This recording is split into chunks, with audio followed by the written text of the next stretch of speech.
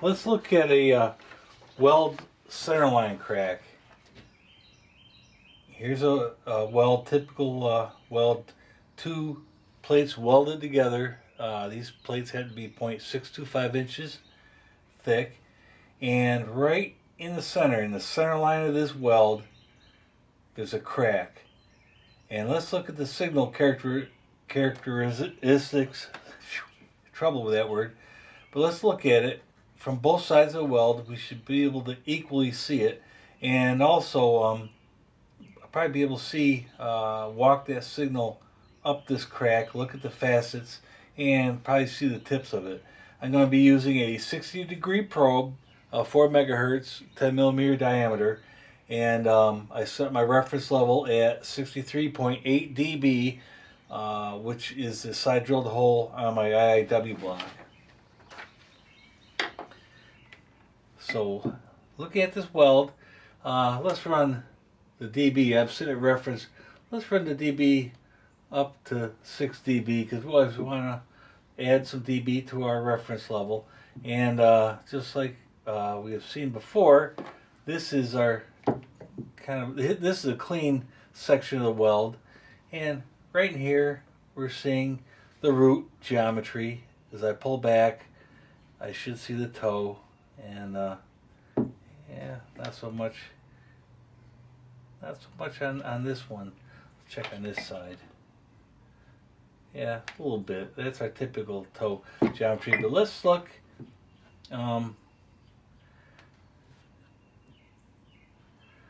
clean, clean. Oh, boom. Look at that. Wow. Look at high amplitude signal. That right there is our centerline crack. Again, let me move uh, parallel to the weld. We'll see where that will drop out. Gone. We're back into the defect.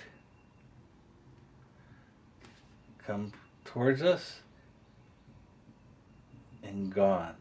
So we can see there's a definite start stop this thing and it, it plots about uh, right now uh, we have really good amplitude plotting about midway down we're in our second leg of the 60 degree and we're seeing about uh, halfway uh, down the uh, volume of the weld and let's look at the signal I rotate and we'll see some of those facets See those facets come in and out like an escalator. Moving around. See that? Cracks are jagged. They have facets. And we can see those facets moving around. So you see that the, uh, the signal response is very strong from this crack. Now let's look at the centerline crack. Let's run over here and see what we can see on this side of the weld. Um, again, our, our geometry of our root and um, the toe. Let's scan along here. Boom, look at that. Nice strong signal. Plotting midway. Look at that signal. Uh, again, see basically the same signal from both sides of the weld. Let's rotate it around. Look at the facets. plotting right about the center line of the weld. And look at this. You can walk that signal.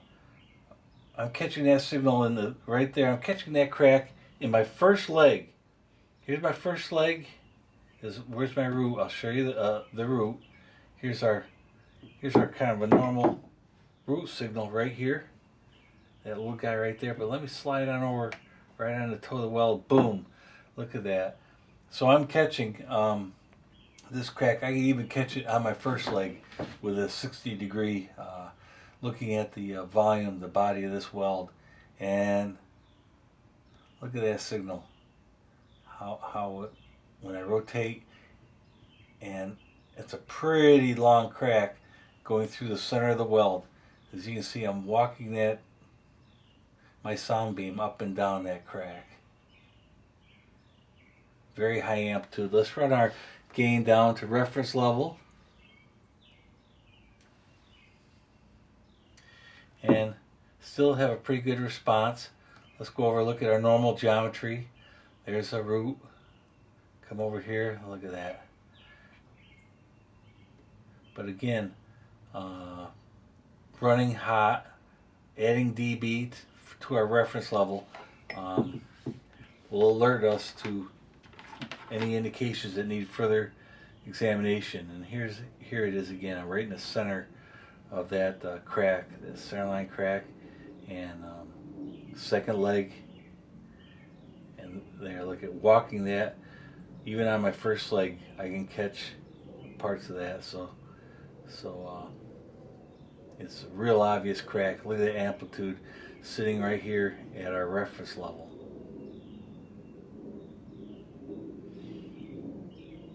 That is a centerline crack.